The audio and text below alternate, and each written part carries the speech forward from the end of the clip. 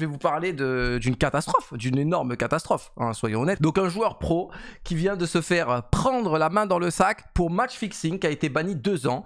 Gain estimé entre 300 et 400 000 dollars de gains effectu euh, gagnés en ayant euh, des matchs. Vous voulez échanger vos skins? Passez par Skin Monkey, un site spécialisé dans les échanges. Trade ton inventaire de manière automatisée et sécurisée. Code MalexCSGO pour avoir jusqu'à 5 dollars et 35% de bonus. Alors qu'est-ce que c'est le match fixing? Qu'est-ce que c'est throw un match et ce genre de choses Un match fixing, c'est un match truqué. Et throw, ça veut dire faire exprès de perdre. Donc quand tu es joueur professionnel, par exemple, euh, euh, tu es contacté par des gens qui vont te donner 10, 20, 30 000 dollars pour truquer un match et tu vas faire semblant d'être nul. Tu vas, tu, vas jeter des smokes à la zub. Bon, c'est pas abusé non plus. Hein, tu regardes pas par terre en train de, spray ton pote. C'est pas comme ça. Mais euh, voilà, tu rotas un peu en retard. Euh, tu failles un peu ton spray. Euh, tu mises bail. Tu fais un peu des trucs, voilà, tout pourri. Et encore, si t'es même plus intelligent que ça, tu peux jouer bien toute la game et juste un peu faire de la merde à des moments importants. Tu vois, il y a 7-7, il y a 8-8 tu fais, un pic un peu agressif, tu meurs, il a 4v5, tu vois si ton équipe elle est capable de rééquilibrer, mais tu peux être un gros handicap pour ton équipe, ne serait-ce qu'en jouant entre guillemets intelligemment et ne jamais te faire prendre, ne jamais être suspecté par tes moves, par les situations un peu positionnelles. Et donc pour le coup, ce joueur-là, c'est Goku Shima, donc euh, joueur qui évoluait dans l'écurie Force, on parle d'un très bon niveau quand même, et ce n'est que la partie visible de l'iceberg. On a des leaks qui ont été dévoilés après, euh, eh bien de conversations et ce genre de choses. Je vous mettrai pour le coup en description ces choses-là parce que je pense que c'est chronophage et indigeste. Nous ce qu'on veut, c'est aller à l'essentiel un petit peu du sujet. Entre 300 et 400 000 dollars remportés pour un joueur de ce calibre-là, c'est-à-dire que c'est une cacahuète. Hein, je...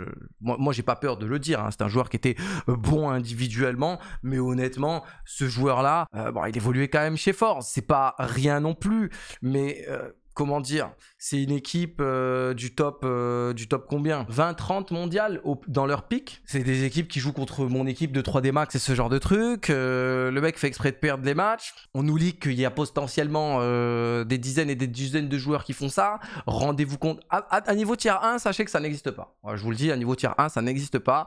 Hein, chez Vitality, chez Astralis, chez Navi, chez G2, chez FaZe, voilà Cloud9, les écuries de ce calibre-là et j'en passe, NIP, les, les équipes de ce calibre-là, il n'y a pas de match euh, truqué.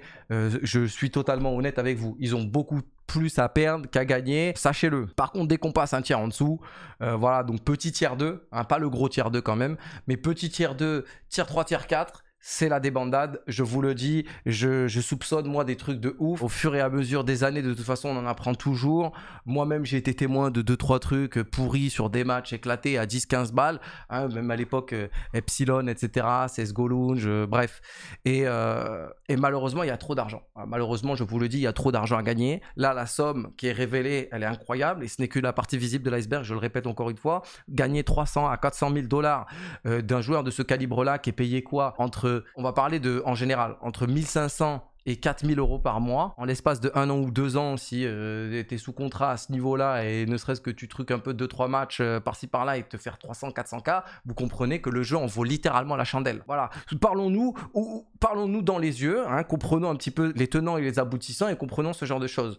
On n'est pas là pour euh, plébisciter le mal, on n'est pas là pour plébisciter euh, la tricherie et, ce genre de trucs. Maintenant, soyons honnêtes les amis, euh, parlons en tant qu'être humain et à l'échelle humaine de monsieur tout le monde, le SMIC, pas le SMIC, que tu sois français, que tu sois suisse, que tu sois danois, que tu sois russe, etc. Et dites-vous qu'il y a quand même des certaines échelles qui sont pas les mêmes selon les pays. Donc là, on parle d'un mec qui est russe, ukrainien, etc., ou polonais, etc. C'est encore moins que par exemple en France. Mais rien qu'à l'échelle française, 1500 euros par mois, combien de temps il va les mettre pour les gagner les 300K Combien d'années il va les mettre Est-ce que c'est dit qu'il va, va gagner autant de, matchs en compétition? Est-ce que c'est dit qu'il va faire une carrière à de 10, 15, 20 ans pour mettre 300 000 euros de côté? Euh, Rendez-vous compte que là, le mec peut, taper 300K en l'espace de un an ou deux. Il y a un problème. je vous le dis, il y a un problème. Je pense que c'est pas que le cas sur Counter-Strike. Je pense que ça existe également sur d'autres jeux parce que le, betting est disponible sur euh, l'intégralité des jeux. Je vais aller regarder moi le site euh, que j'utilise. Voilà, ça on vous le montrer bien évidemment j'ai pas envie de vous inciter. Euh, si vous voyez quand même sur Twitter, j'envoie les pronos quand même. Euh, voilà, donc là je suis sur le site, il y a Counter-Strike, il y a Dota 2, il y a League of Legends, il y a Valorant, il y a Rainbow Six, il y a StarCraft, euh, Broad War, il y a quand même des jeux. il y a quand même des jeux, les frères. hein. Là, ils viennent d'annoncer Fortnite, ils viennent d'annoncer encore des compétitions là-dessus et ce genre de trucs. Euh, bon, après, euh, bête là-dessus, je ne sais pas comment ça se passe, mais c'est possible. Donc, je ne dis pas que c'est la bonne chose à faire, loin, loin de moi euh, de, le fait de vous inculquer ce genre de valeur, mais je me mets en fait à la place des joueurs qui touchent euh, même 2000, 3000, 4000, 5000 euros par mois, même 10K par mois, même 10K par mois. Le mec, il va mettre 3, 4 ans à gagner cet argent-là? Vraiment, s'il est dans le T2, le gros T2, hein, il va mettre peut-être 3-4 ans. C'est même pas dit que la longévité d'un contrat soit aussi longue. C'est même pas dit.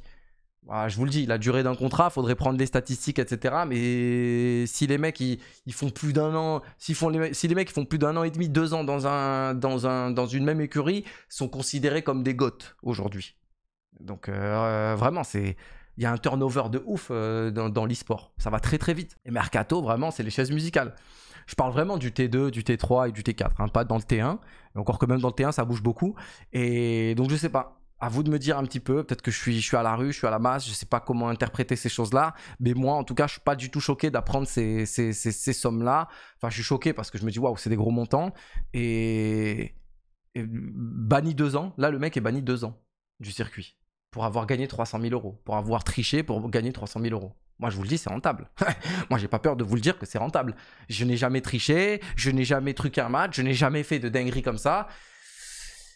Est-ce que j'ai pas des regrets? Euh, Est-ce que je vous regarde pas dans les yeux et je vous dis, euh, j'ai pas des regrets euh, J'aurais pu, euh, pu faire des dingueries et mettre tout le monde à l'abri? Alors oui, j'aurais peut-être ma réputation ruinée, ce genre de choses. Et encore, et encore que les gens ils t'auraient regardé dans les yeux, t'auraient dit 300K Ouais, je comprends quand même. hein.